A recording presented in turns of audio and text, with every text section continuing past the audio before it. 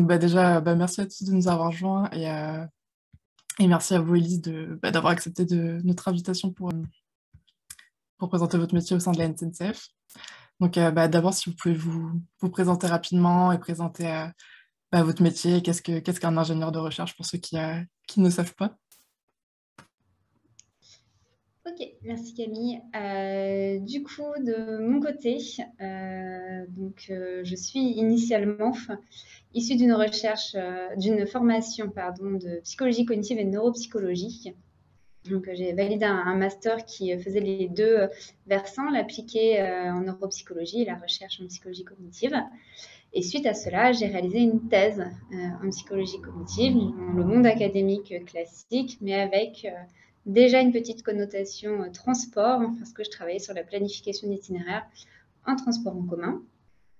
Et euh, à la fin de, cette thèse, j'ai enchaîné trois ans euh, à l'université dans des postes d'ATER, donc d'assistant de, recherche et d'enseignement, et de post-doctorat. Et c'est lors d'un post-doctorat que j'ai eu l'opportunité d'avoir des missions euh, avec l'entreprise Renault et avec euh, le programme Expérience et Cognition qui venait de naître. J'ai fait une petite mission en externe pour eux. Et, euh, et, donc, à la suite de ce post-doctorat, j'ai pu rejoindre temporairement le programme Expérience et Cognition en tant qu'externe pour réaliser une petite étude. J'ai ensuite travaillé un an à la Société du Grand Paris en tant que chargée de mission sur des projets de recherche pour essayer de travailler sur l'information voyageurs dans les gares du euh, futur métro parisien, donc du Grand Paris Express. Et puis euh, finalement, je suis euh, revenue au programme Expérience et Commission en tant qu'ingénieur de recherche, donc mon poste actuel, il y a à peine deux ans. Voilà. Mon métier, globalement, c'est de travailler sur un ensemble de projets auxquels je peux apporter mon expertise en tant que personne qui a été formée euh, initialement à la cognition, donc de pouvoir en fait euh, aider dans les projets à la conceptualisation des euh, hypothèses de travail qu'on peut avoir, conseiller les interlocuteurs de SNCF quand ils se posent une question sur le comportement humain. Et puis, bah, lors du projet globalement de, recherche ou d'innovation, de mettre en place les études, donc de passer de l'hypothèse à l'opérationnalisation de l'étude, vraiment comment on va du coup traiter le problème, comment on va mettre en place l'expérience, et puis bah, analyser les données, réaliser tout ce qui va être rapport, communication auprès des, personnes qui auront commandité le projet, euh, communication au niveau du monde scientifique et académique également. Et, euh, et, puis, euh, et puis voilà, en gros, les activités de base. Et c'est quoi exactement le, vos tâches typiques au quotidien et dans la, dans la semaine et quelle, quelle répartition? Mhm. Alors, euh, une semaine de travail, euh, globalement, il va y avoir un, volume euh, de mon côté qui va être lié au dialogue avec les personnes qui commanditent les projets, donc les autres entités de, de SNCF avec qui on travaille, enfin qui ont une question en fait pratique et à laquelle on va essayer de répondre par la recherche. Donc, il y a beaucoup de temps d'échange avec eux pour s'assurer que ce qu'on met en place leur convient. Il y a du coup bah, tout le temps euh, de préparation des, études, donc bah, du temps de travail euh, soit en solitaire parce qu'il euh, y a des lectures à réaliser, de la réflexion sur le protocole expérimental, etc. Et puis des temps d'échange avec les personnes avec qui je vais travailler sur la conceptualisation des protocoles expérimentaux, les analyses statistiques, euh, qui vont être euh, pour la plupart du temps, du coup, les, euh, plutôt ce que vous avez qualifié de juniors, les, les, stagiaires que je vais encadrer, les doctorants ou, même des prestataires externes qui peuvent appuyer les projets. Donc, c'est beaucoup de préparation seule, échange avec les collaborateurs directs pour synchroniser les actions, et puis travail avec les, les MOA. Donc, c'est à peu près équivalent en termes de, de temps. de temps. Et puis, bien sûr, il y a une, part importante quand même d'activité d'équipe euh, parce que euh, il y a tout un travail d'animation de, l'équipe, de rencontres, euh, de, gestion. Voilà, dans une très grande entreprise, donc il y a aussi des événements, des choses à préparer pour rendre compte d'activités, pour, voilà, pour montrer la visibilité du programme, des, choses qui sont faites ponctuellement. Et donc, il y a un petit peu de temps, une demi-journée par semaine qui est consacrée à du temps d'activité commune au programme. Est-ce que vous pouvez nous donner l'exemple d'un projet qui vous a, qui vous a marqué? Un exemple concret, en fait de savoir vraiment comment ça se passe? Bien sûr. Eh bien, je vais vous parler du projet pour lequel j'ai été recrutée à la base. Comme ça, ce sera très, très clair. Et il est assez imagé. Donc, euh, comme il a été présenté au, tout début, SNCF, il y a plusieurs euh, euh, sous, sous-entreprises. et donc, il y a SNCF Réseau qui est en charge de l'infrastructure, des voies et aussi, du coup, qui est rattaché à Gare Connexion.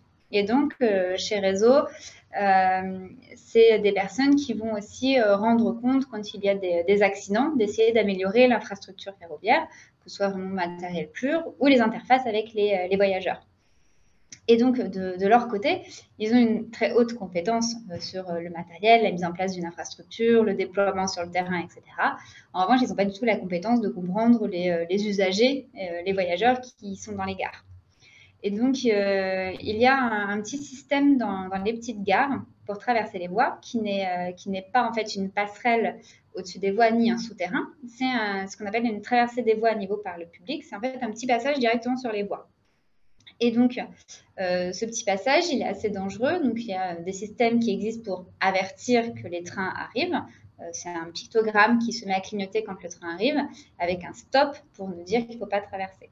Et donc, malgré cette information, euh, on a euh, SNCF des accidents tous les ans sur ce type de dispositif.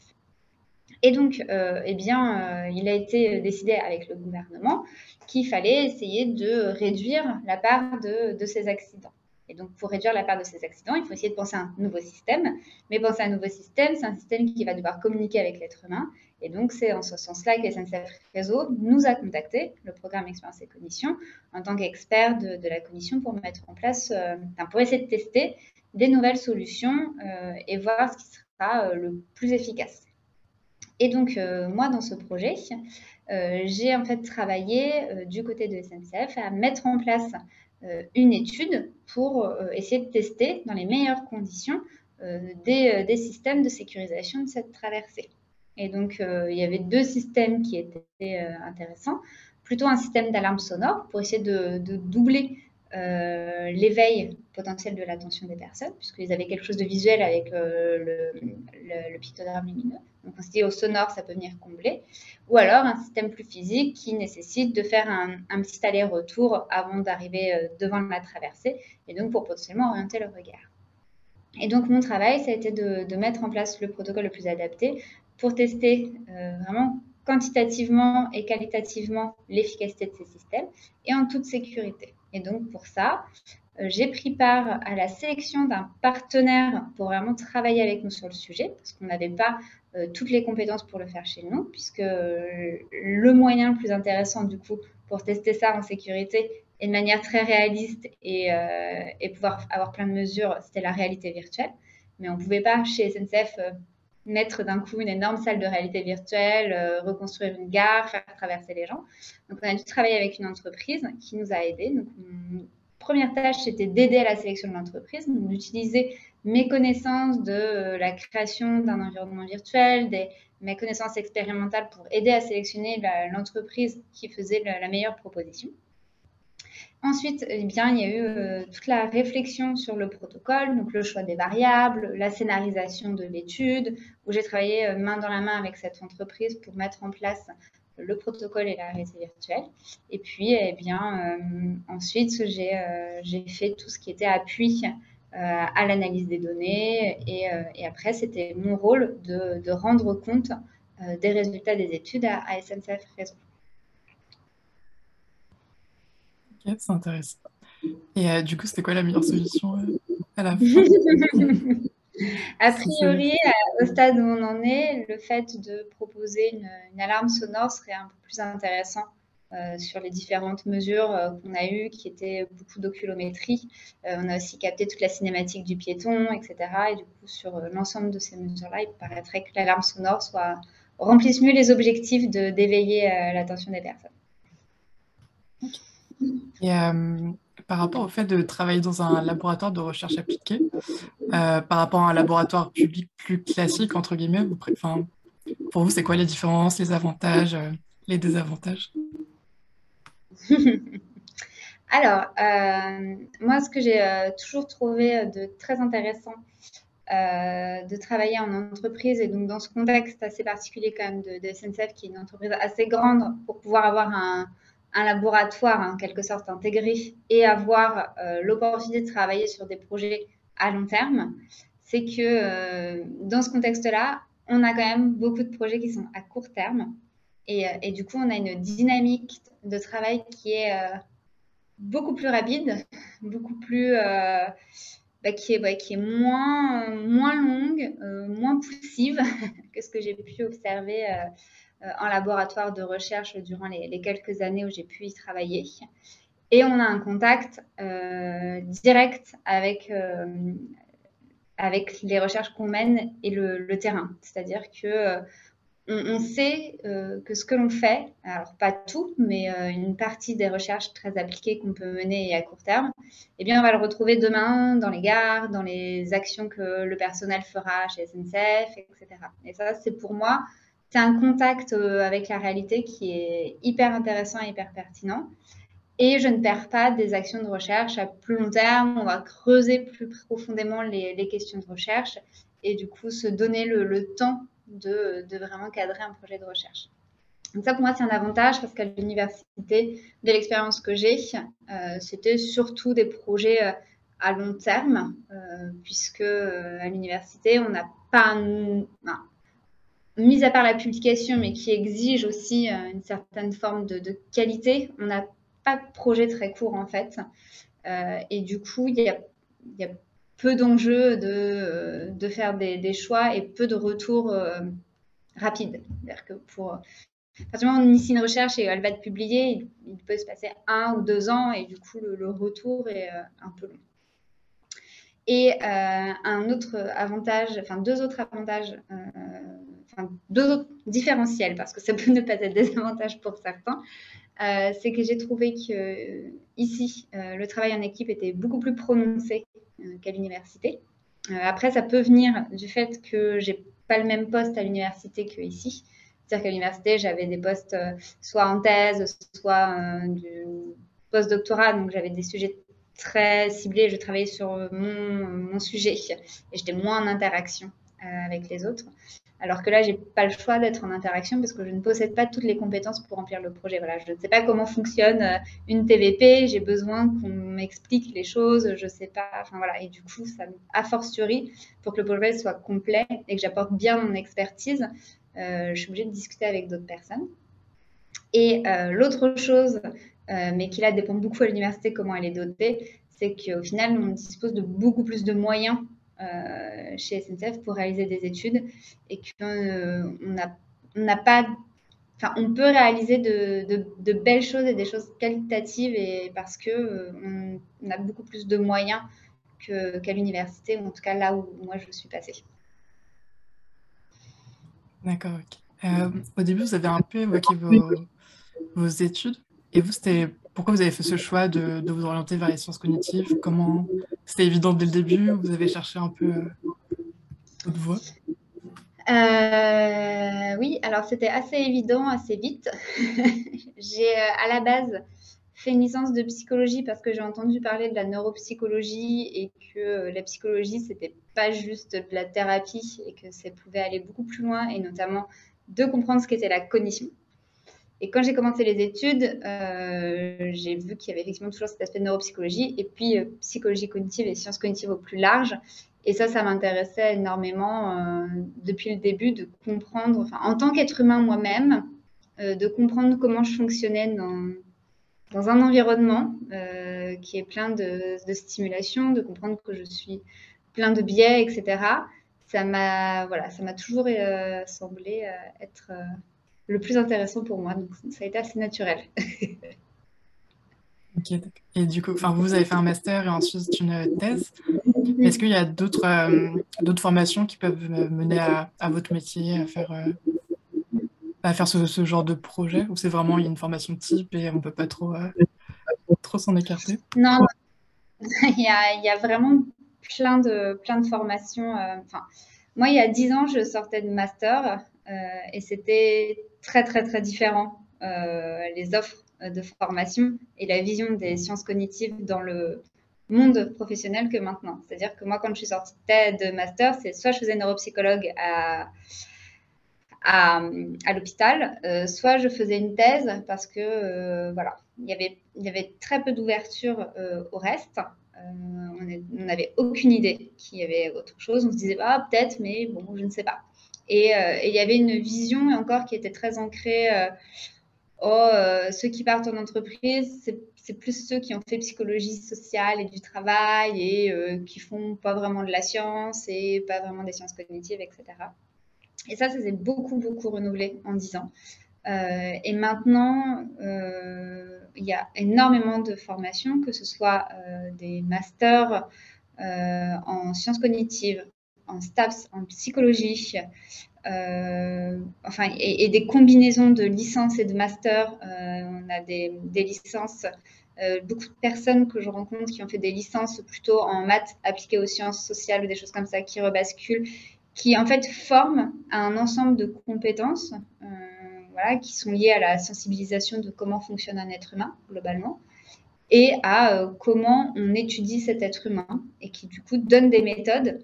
Et en fait, avec ce socle-là, on peut accéder à, au type de métier que, que je fais sans, sans passer par euh, master, doctorat. C'est-à-dire qu'à la fin du master, en théorie, euh, le, profil est bon pour faire de l'ingénieur de recherche. Une personne qui a quand même 5 ans d'études euh, dans un domaine proche ou qui en tout cas a entendu parler de sciences cognitives et de cognition humaine et qui a fait plusieurs petits travaux de recherche, que ce soit en groupe ou des mémoires de recherche, qui lui ont permis aussi de mettre en œuvre ses connaissances théoriques et ses connaissances méthodologiques. Et du coup, euh, c'est suffisant, c'est ce qu'il faut pour euh, mener une enfin, être ingénieur de recherche en tout cas. Après, euh, la thèse est aussi, enfin, est, un plus et sera valorisée parce que c'est trois ans de plus à mettre en place des projets, à les connaître, à les suivre, et c'est trois ans aussi de bah, développement, d'approfondissement de connaissances euh, théoriques et méthodologiques, mais ce n'est pas nécessaire du tout. D'accord. Et ce serait quoi vos conseils pour euh, bah, tous ceux qui cherchent leur voie en sciences cognitives, en fait? Enfin, niveau, euh, bah, niveau des études, niveau des, des métiers, etc. c'est un, peu, un peu vaste, mais... mes, conseils diffusés en poudre. Non, c'est un petit peu compliqué parce que euh, moi, j'ai plus suivi des, opportunités et, du coup, ça m'a amené là, où je suis. J'ai tenté des choses qui n'ont pas fonctionné, qui font que je suis euh, là aussi. Et donc, je pense que ce qu'il faut, ce qu'il faut avoir en tête, c'est que euh, les, études globalement, enfin, dans les masters que avec lesquels j'ai pu discuter et les étudiants que je rencontre, euh, donne les bonnes connaissances. Donc, il faut capitaliser sur le fait que euh, quand on, est en sciences cognitives, il faut donner une bonne vision de ce que c'est la science cognitive, que ce soit, enfin, on peut aussi ne pas vouloir être sur l'être humain, mais il faut vraiment, comme dans toute formation, euh, être en accord avec sa formation, l'apprécier et, s'y mettre à fond. Après, je pense qu'il faut pas hésiter du coup à se construire une bonne base euh, dans, les enseignements et à saisir les opportunités euh, quand il y en a euh, et à rester très ouvert sur, sur ce qui existe parce qu'en fait, bah, il y a pas mal d'opportunités dans, dans, le monde du, du travail, que ce soit à l'université ou, dans les entreprises. Et du coup, pour caler son chemin, il ne faut pas hésiter à, se renseigner, à faire des mini-stages, à demander à discuter avec des personnes quand on rencontre des contacts, des choses comme ça qui, peuvent aider euh, à avoir des, informations. Et donc, voilà, pour ceux qui ne sont pas là, il faut assister à ce genre de, de salon pour euh, voir si on est dans la bonne voie et si ça nous intéresse. Euh, vous avez évoqué des choses qui n'ont pas fonctionné. Est-ce que vous avez des exemples de, de stages qui ne vous ont pas plu, de choses comme ça, qui vous ont convaincu de suivre la voie de, bah, de suivre la voie vers votre métier? Enfin, Est-ce que vous êtes trompé ou des choses comme ça? Alors, du coup, moi, j'ai choisi de, finalement vraiment me consolider vers la science cognitive en, L2. Enfin, c'est ce qui me plaisait vraiment. J'ai surtout réalisé le cursus en neuropsychologie parce qu'à l'époque, euh, ça me permettait d'acquérir un, diplôme euh, qualifiant et qui me permettait d'avoir un métier à la sortie et de pouvoir travailler. Parce qu'à euh, l'époque, l'ingénieur en sciences cognitives en sortie de master, ça n'existait pas trop. Mais du coup, j'ai dû faire bah, deux ans de stage à l'hôpital donc, euh, j'ai fait un stage de M1 qui, euh, a alors, qui était intéressant, mais qui été horrible pour moi. Enfin, je me suis dit jamais je pourrais faire ce métier. J'étais en, euh, en neuropédiatrie. Et, du coup, en tant que, neuropsychologue, je devais faire du bilan et déceler du coup tout un tas de pathologies chez, les enfants. Mais mon métier n'était pas de résoudre leurs problèmes. Mon métier était d'aider à poser un diagnostic. Et, et enfin, voilà, je, conçois que c'est hyper important et que je pense que ça plaît à plein de gens. il y en a plein qui le font. Et moi, ça m'a traumatisé de, dire à des enfants qu'ils avaient des problèmes et de ne pas les accompagner ensuite. Donc ça, je savais que voilà, je voulais pas le faire. En, en M2, je suis allée dans psychiatrie adulte pour changer complètement. Mais euh, voilà, enfin, je, savais que moi, travailler comme ça avec les, personnes, c'était euh, hyper intéressant. J'ai adoré hein, la psychiatrie adulte. C'est un monde qui, se renouvelle tous les jours, donc c'est euh, hyper intéressant. Mais voilà, j'avais plus envie d'être dans une ambiance de, recherche, de, suivre des projets, d'avancer, de pas toujours être confrontée aux au mêmes euh, aux mêmes problématiques, aux mêmes éléments en fait, parce que pour moi c'était ça être psychologue, c'était quand même toujours brasser les, les mêmes choses, alors qu'aller vers la recherche, bah, ça change beaucoup, les, sujets changent et on adapte un peu les méthodologies. moi personnellement, ça me paraissait euh, sans, enfin, infini comme possibilité. Euh. D'accord, bah, merci beaucoup. Je pense qu'on peut passer au, au moment des questions-réponses. Donc, si vous avez des questions sur, euh, bah, sur ce que Elise vient de dire ou, euh, ou des questions en plus, n'hésitez pas à prendre la parole avec le micro ou à, poser des questions dans le chat. Je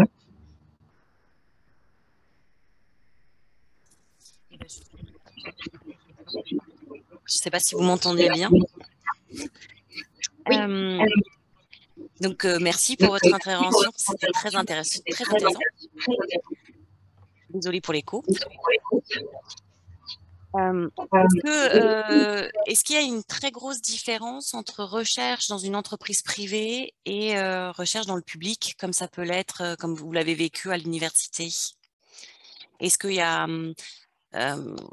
oui, est-ce que, est-ce que c'est, ce sont deux types de recherche vraiment très très différentes ou est-ce qu'elles sont comparables C'est juste le milieu qui change? Merci pour la question, Pauline. Euh, oui, alors, euh, je pense que ça peut beaucoup dépendre de l'entreprise dans laquelle on, se place et du coup des objectifs.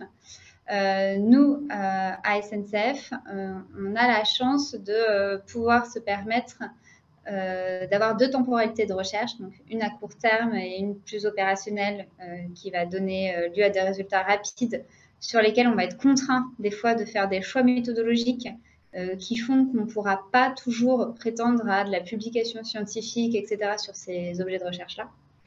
En revanche, euh, on a euh, d'autres recherches pour lesquelles on peut prendre le temps et, les moyens du coup de, bien paramétrer les études et que en plus ces études qui auront toujours une connotation appliquée et un objectif de, répondre à quelque chose, mais qui en les élevant, les pardon, et en y réfléchissant de manière un peu plus large, euh, vont permettre d'accéder euh, exactement au même niveau de, qualité de recherche et d'attendu euh, que celles qui sont menées à l'université et qui seront reconnues par les pairs au même niveau. Donc, en ce sens-là, on participe tous les ans à différents congrès les congrès les plus cotés dans nos spécificités de thématiques de recherche. Et on publie aussi au, meilleur niveau euh, en sciences euh, cognitives sur nos sujets euh, sans problème. Donc en fait, on a les deux. Donc pour certains, bah, non, parce qu'on a des contraintes, des choses qui font qu'on est obligé de faire des choix qui ne vont pas forcément, du coup, après pouvoir nous faire accéder à la publication ou autre. Et, encore, ça dépend, enfin, on trouve assez souvent à, publier, et d'autres qui, qui, sont pour moi de même qualité et de très bonne qualité euh, d'un point de vue scientifique. J'espère que ça répond à votre question. Euh, oui, tout à fait. Merci beaucoup. Merci. J'ai une question en privé euh, d'une ingénieure en... qui est en école d'ingénieur en informatique qui demande si dans votre équipe il y a des gens qui ont ce, style de parcours, de cursus. Ingénieur en informatique? Euh, alors, dans l'équipe même du programme Expérience et Cognition, euh, non, on n'a pas de personne qui euh, a fait un diplôme complètement en, école d'ingénieur euh, informatique. On a des personnes qui ont fait des licences, plutôt en informatique, mais qui ont fait des masters assez ouverts quand même sciences cognitives. Donc, ils ont une, base vraiment en informatique, mais après, ils ont une bonne ouverture quand même à l'être humain. D'accord, ok. Donc il y a Cléa qui nous dit merci pour votre présentation. Vous avez parlé du travail davantage collectif que lors de vos expériences passées à l'université. Euh, quelle pression pour les publications scientifiques, justement, votre entreprise est-elle en demande pour ces publications? Euh, alors, euh, donc, on n'est pas, on n'est pas tenu de, publier pour, évoluer dans notre métier. contrairement au monde académique, c'est pas un critère euh, d'évaluation de l'entreprise envers la qualité de notre travail. Euh, c'est plus dans le, les, déjà nous on aime bien publier parce que c'est aussi donner une crédibilité aux, travaux que l'on fait et donc même que ce soit pour communiquer avec l'interne de l'entreprise ou l'externe, euh, c'est toujours valorisant de se dire que les pairs et les experts du coup de, nos domaines ont, ont validé notre travail. Euh, et du coup, la seule pression à la publication, c'est plus qu'on se met nous-mêmes en objectif individuel de, le faire. Et, euh, du coup, c'est acté. Et, euh, on essaye de, le faire pour, voilà, pour notre évolution personnelle. Mais l'entreprise ne nous force pas à publier et ça n'a pas d'impact sur notre, notre carrière. à l'exception d'un microcosme très particulier à SNCF où il y a une communauté d'experts à SNCF qui est, qui est mise en place. Et pour accéder à cette communauté, pour rester dedans et actif, euh, la publication peut être euh, l'un des moyens de valider qu'on est expert et de faire partie du coup de cette communauté. Donc, euh, sur, mon travail de tous les jours, etc., il n'y a pas une pression à la publication, mais pour accéder à, un certain, une certaine reconnaissance de l'entreprise, ça peut devenir nécessaire. Et la deuxième question, c'est est-ce qu'il y a des choix méthodologiques qui peuvent empêcher une publication? Euh, oui, oui, oui. Il y a des, euh, il y a des fois, il y a des, euh, des choix qui, qui, sont faits parce qu'on a besoin d'une réponse au niveau opérationnel rapidement, qui, qui, quand on fait un arbre d'expérience et qu'on croise toutes les conditions, on ne va pas pouvoir avoir un, en fait, un, un plan expérimental complet. Et on, va faire des choix de parti pris, soit parce qu'on on a une, une consigne euh, des, opérationnels ou parce qu'on on a une autre contrainte euh, matérielle ou autre d'implémentation qui font que pour simplifier, pour rendre plus tôt le travail, etc., on va faire des choix qui font que ce plan expérimental complet euh, n'existera pas et du coup, on ne pourra pas accéder à la publication. En revanche, ce que l'on fait pour ces projets-là, on fait cette version pour pouvoir répondre rapidement aux, donneurs d'ordre, mais on se laisse toujours la possibilité de d'ouvrir, enfin de pardon, de compléter le plan expérimental en insérant des conditions, des choses qui nous permettraient de publier si on le voudrait. Et oui, c'est juste un choix méthode. Ok. Donc voilà, c'est juste que des fois, y a des contraintes qui font qu'on supprime des conditions en fait, des, plans expérimentaux. D'accord, ok. Euh, alors là, j'ai plus de questions, donc si vous avez d'autres euh, questions, n'hésitez pas. Oui, moi j'en aurais une. Euh, bah, pardon, Fantin. D'accord, merci. Bah, déjà, merci de la présentation. Euh, moi, je me posais une question, c'était plus, je ne sais pas si vous en avez parlé, j'ai dû m'absenter un petit moment, voilà, mais c'était plus au niveau de, de l'autonomie que vous avez. C'est-à-dire, est-ce que du coup, les, les, projets que vous menez, c'est euh, c'est vous qui les, euh, qui les construisez ou alors est-ce que c'est la SNCF qui les impose? Et aussi, euh, du coup, savoir si vous aviez une sorte de superviseur, entre guillemets, qui devrait valider ou non ce que, vos travaux, vos avancées, etc. oui, alors du coup, la façon dont ça fonctionne, je ne suis pas lâchée dans la nature à faire les projets qui, m'intéressent euh, ou qui, pour, je pense, pourrait intéresser SNCF. Euh, il y a deux choses. Euh, il y a des projets qu'on nous demande, comme on dit, donc il y a une autre entité de SNCF qui arrive et qui nous dit j'ai ce problème, est-ce que vous pouvez le résoudre? Si on pense qu'on a les compétences pour le résoudre et que stratégiquement c'est intéressant, on va prendre le projet. Quand je dis on, euh, c'est des décisions euh, collectives qui se passent au niveau du, responsable de programme qui a parlé en, début de, session, donc Simone Morgani, qui euh, va aider à avoir une vision stratégique sur les sujets à enjeu pour, pour choisir ce vers quoi on, va aller. Et ensuite, on peut avoir des projets, enfin voilà, des idées de projets chacun individuellement, mais toujours on aura une concertation avec d'autres membres de l'équipe euh, qui, voilà, qu'on pense qu'il pourrait être intéressé sur, sur des sujets. Et ce sera toujours soumis à validation, à accord avec euh, le responsable de, projet, enfin de programme, qui euh, lui valide en fait bah, l'unité et, la, stratégie du programme en lien avec bah, les, besoins du, groupe. Donc on peut avoir des choses en émergence de notre côté, mais on ne va pas le faire tout seul, on validera toujours en équipe. D'accord, merci. Euh, je crois que quelqu'un d'autre essaie de faire la parole. Peut-être euh, Fantin. Euh, donc il y avait eu des offres de, enfin des, propositions de recherche donc avancées par Guillaume Lemaître qui avaient été transmises sur le risque. Et donc je me posais la question, il y en avait une qui portait justement sur l'oubli des bagages à bord donc des trains. Et je remarque qu'actuellement, il y a déjà, euh, en tout cas, j'ai l'impression qu'il y a déjà beaucoup de mesures là-dessus. Par exemple, un SMS qu'on reçoit en arrivant en gare et aussi euh, dans les euh, haut-parleurs, le, message assez marquant du père, de la petite fille justement qui, interpelle son père en lui demandant s'il n'a pas oublié ses bagages. Et donc, je me demandais, dans ce cas-là, dans cette axe de recherche, l'idée serait d'aller encore plus loin là-dedans ou de trouver à, l'inverse des, alternatives qui arriveraient de manière encore plus efficace à réduire l'oubli de bagages? Alors, merci pour la question très pertinente qui va me permettre vraiment d'illustrer euh, le rôle d'expérience et cognition et le rôle de, nos recherches euh, au niveau du, groupe SNCF.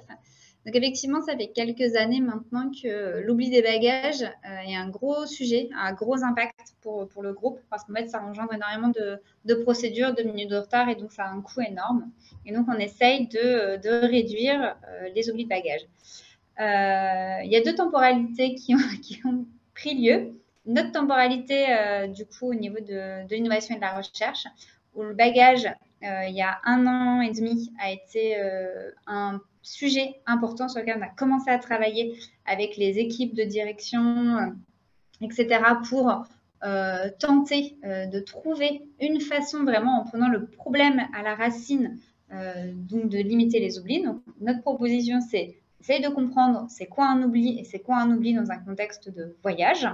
Donc vraiment en reposant la question au niveau euh, théorique et en redéfilant euh, toute, la, bah, toute la chaîne de on comprend c'est quoi un oubli, c'est quoi un oubli dans les trains et du coup comment on essaye de, pallier à ça. Parce que c'est à quel moment en fait de, ce processus cognitif il y a un problème qui fait que on oublie les bagages. Donc on essaye de retrouver des solutions à partir de la compréhension du, problème et puis il y a ce qui s'est passé au niveau opérationnel euh, sur lequel on n'a pas du tout on n'a pas eu la main mise en fait c'est qu'il y a beaucoup d'oubli et du coup, il y a déjà des actions à plus court terme qui ont été mises en place.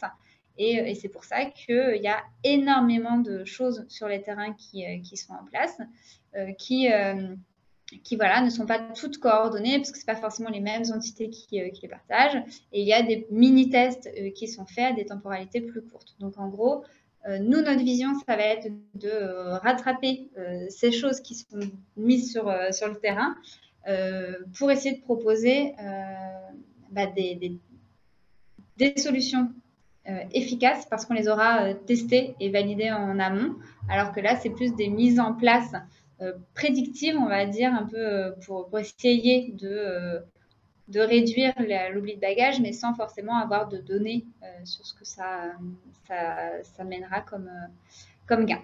Donc là, on est sur les deux temporalités et on va essayer de réunifier le tout avec une vraie proposition sur laquelle on sera sûr des gains qu'on aura à mettre en place dans nos solutions. Merci beaucoup. merci. Est-ce que euh, vous, avez d'autres questions ou pas? N'hésitez pas. Sinon, j'ai encore une, euh, petite question. Là, vous avez parlé des oublis des bagages, mais est-ce que vous avez des projets sur, euh, bah, sur lesquels vous avez travaillé que, que nous, on peut rencontrer dans la vie, dans la vie quotidienne des choses comme ça? Euh, alors, euh, des choses qui ont lieu dans la vie quotidienne qu'on a déjà en place. Euh, moi, dans ce sur quoi j'ai travaillé, il y a des choses qui vont arriver bientôt. Par exemple, on a refait toute la signalétique de, enfin, on est en train de refaire toute la signalétique de sécurité dans les gares. Et donc, il y a plein de panneaux qui, en 2022, devraient beaucoup changer dans les gares. Et en fait, ça, ça fait deux ans qu'on travaille dessus. On a réinterrogé la littérature sur comment on fait pour informer une personne du danger, où est-ce qu'on met les panneaux, comment on les fait, qu'est-ce qu'on écrit dessus? Et on a fait beaucoup de tests différents, euh, allant de l'atelier de travail avec des tout venants, par euh, des tests en ligne, des tests en réalité virtuelle et des tests en gare, euh, pour valider au mieux les, les, concepts. Donc ça, voilà, ce sera déployé dans quelques mois. Si vous voyez des jolis panneaux, ce sera les nôtres. Ok, d'accord, merci. Bon, on regardera.